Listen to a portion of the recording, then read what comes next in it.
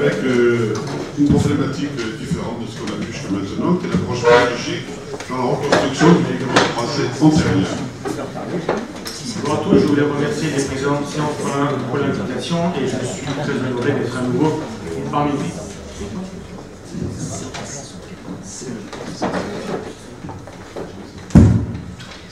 Donc, parlons de quelque chose de plus biologique après le, robot et, autres navigations. Donc, en introduction, la rupture du ligament croisé, quelque chose de classique, et euh, classiquement associé à un traumatisme sportif. Quelques chiffres avec 12 euh, ruptures pour 100 000 patients par an, ce qui correspond en gros à 20% des lésions du genou, soit environ 40 000 ligamentoplasties en France en 2006 et près de 50 000 aujourd'hui.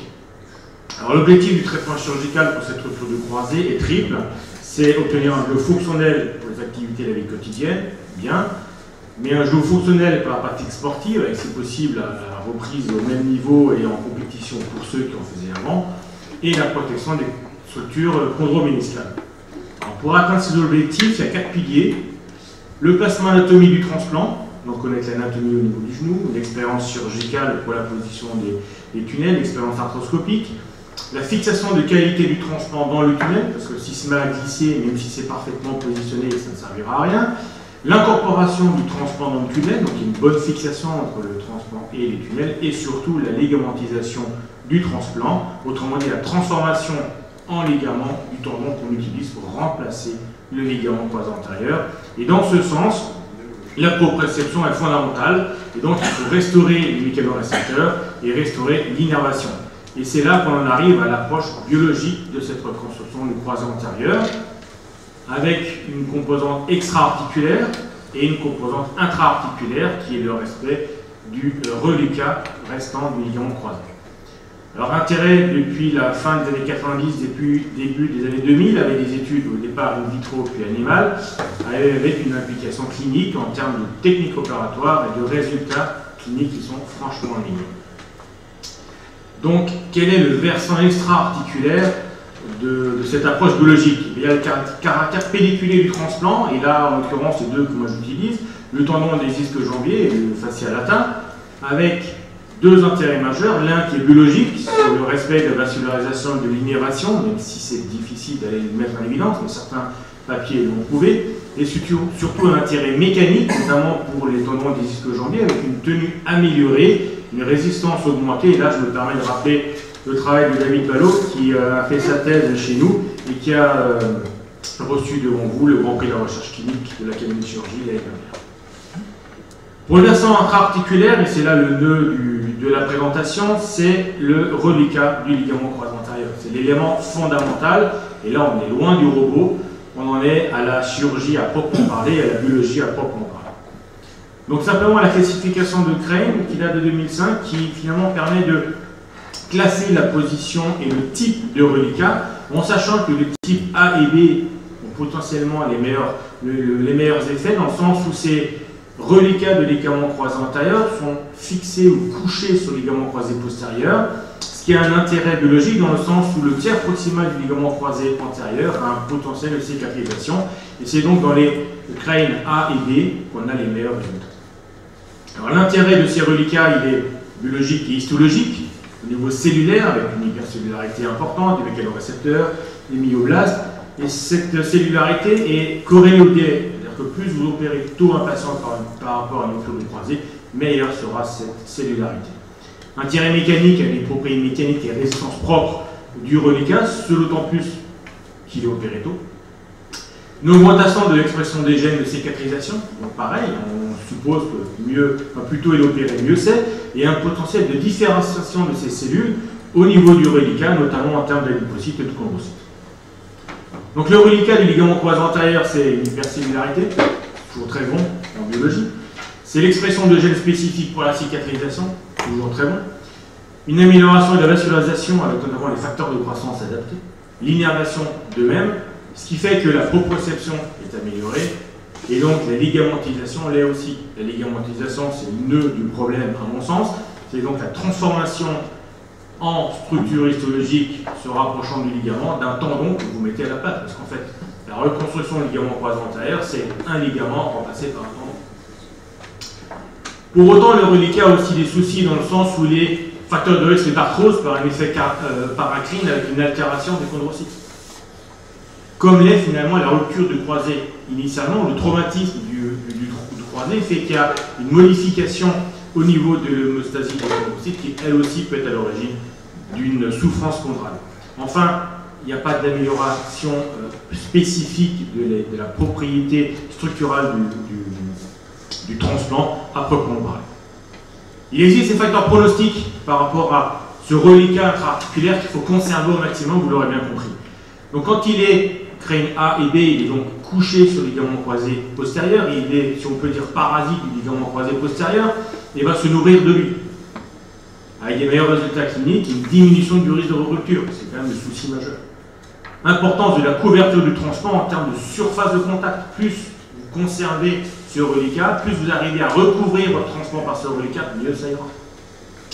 Le délai opératoire, plus il est court, inférieur à 3 mois, mieux c'est. Parce que le reliquat a des meilleures capacités cellulaires. Plus le patient est jeune, mieux c'est aussi en termes de qualité de reliquat avec des résultats cliniques meilleurs. Le volume de reliquat du ligament croisé antérieur, en termes de volume à proprement parler, n'a pas d'influence significative, même si les résultats sont meilleurs. En revanche, je vous rappelle que la surface de contact, elle, est importante, et surtout le fait de garder du reliquat euh, du ligament croisé antérieur n'augmente pas le risque de cyclope c'est-à-dire une espèce de cicatrisation anarchique, fibreuse, en avant de l'échancre qui peut bloquer l'extension. Donc y a-t-il une implication et un intérêt clinique? Oui, par rapport à la technique opératoire, parce qu'évidemment c'est tellement simple de tout enlever et de tout voir, donc euh, quand on veut tout garder, ben, c'est plus compliqué.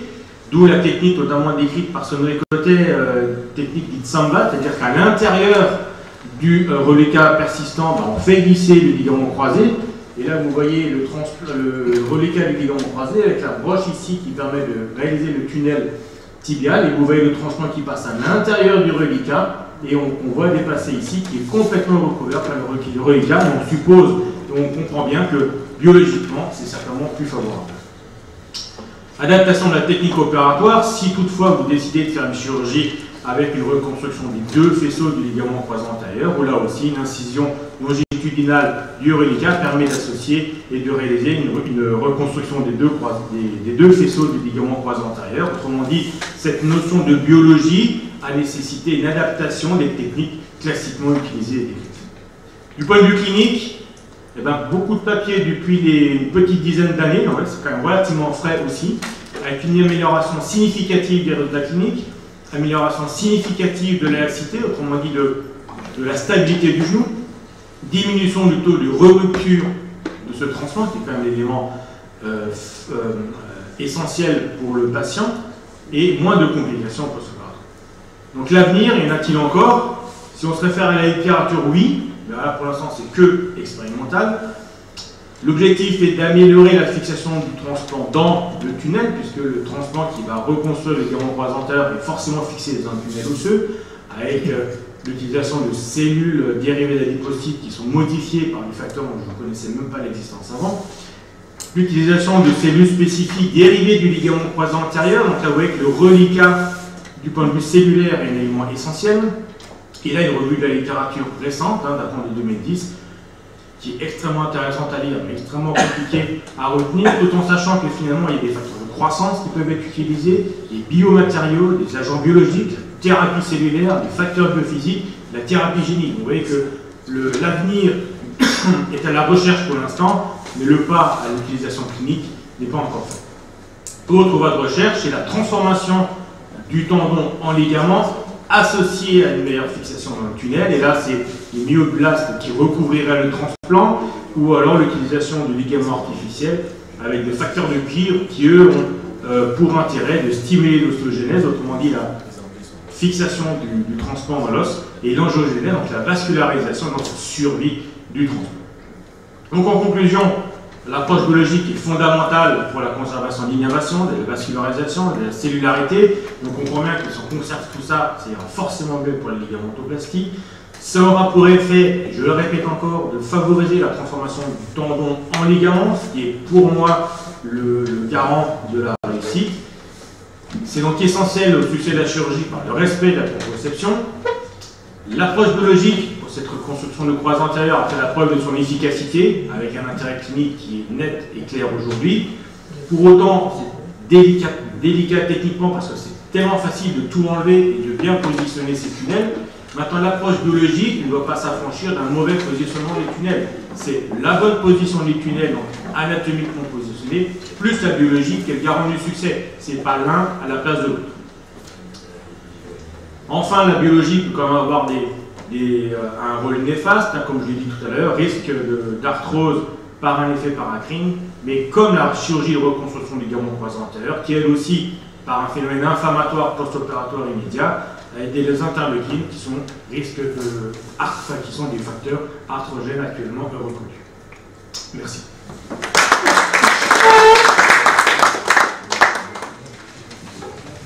Merci Mathieu.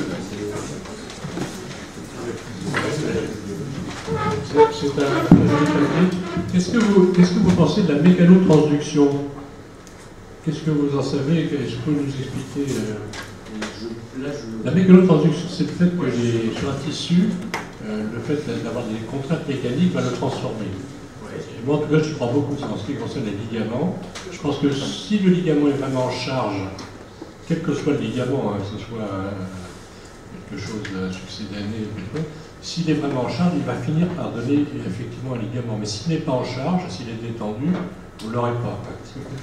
Mais c'est ce qu'on ce qu'on entend, ou c'est ce que les littératures entendent par le côté proprioception, c'est-à-dire la réaction. Ah.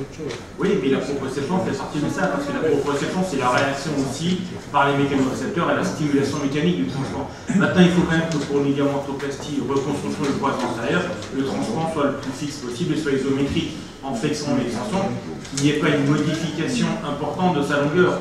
Et donc, il faut que mécaniquement, il soit fixé et qu'il n'ait pas trop de possibilités de, modification non plus, sinon il est plus efficace.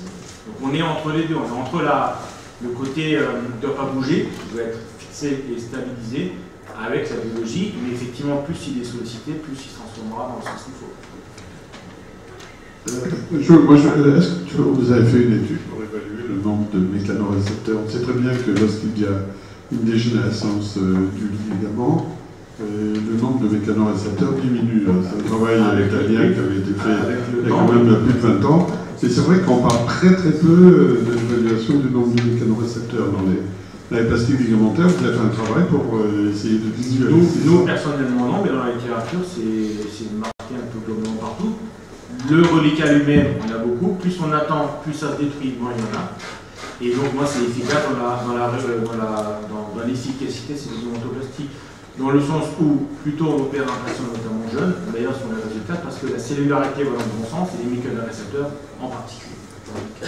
personnellement, nous, on n'a pas fait. Mais dans la littérature, c'est clair.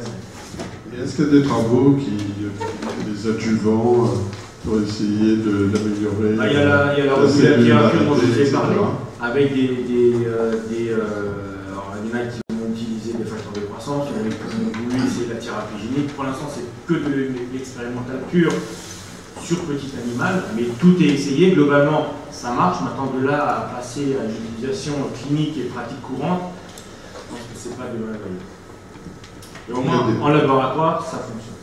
Pour ceux qui sont des ligamentoplasties, André, tu as un commentaire à faire? La, seule question, parce que tu l'as bien, tu l'as bien présenté, Mathieu, c'est euh, effectivement euh, le risque du cyclope. Parce que dans ces techniques intraligamentaires qu'on pratique, le risque c'est quand même d'avoir vraiment la boursouflure du ligament natif et après, on a quand même un peu plus de. Je, pense, que le je pense que ce cyclope ne, survient, dans mon expérience, que s'il y a un reliquat en bâton de cloche qu'on laisse persister. Et si c'est un reliquat en bâton de cloche, il n'est pas fixé sur le croisé postérieur, c'est pas l'axe proximal, c'est pas un crâne A et B, donc finalement, logiquement, il a moins d'intérêt et il y a ce risque-là. La partie bâton de cloche, je l'enlève, mais le reste, je le conserve. Et s'il n'y a pas de bâton de cloche, j'ai dans mon expérience jamais eu ce souci-là pour autant, et dans les littératures sur les séries comparatives, il n'y a pas plus de, cyclopes dans ceux qui ont conservé au maximum le reliquat versus le tout enlevé, que ce soit un ou deux faisceaux. Sachant que deux faisceaux, a encore plus euh, un risque de, de Est-ce qu'il y a d'autres questions? Non. Bon, écoute, merci beaucoup.